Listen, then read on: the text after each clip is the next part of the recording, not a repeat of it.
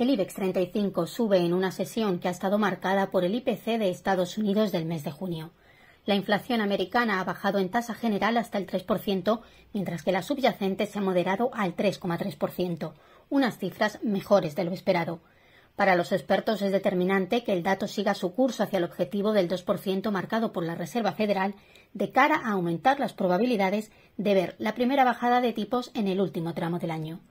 La agenda macro de este jueves también ha incluido otras referencias como el dato definitivo de inflación de junio de Alemania, que se ha moderado al 2,2% desde el 2,4% de mayo. Por su parte, Reino Unido ha anunciado una subida del 0,4% en el PIB de mayo frente al estancamiento de abril y también por encima de lo previsto.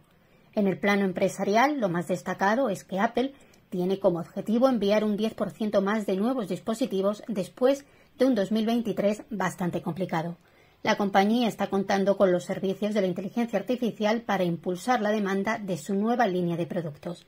Asimismo, el fabricante del iPhone ha acordado con la Comisión Europea abrir a sus rivales su sistema de pago móvil en virtud de las normas antimonopolio de Bruselas.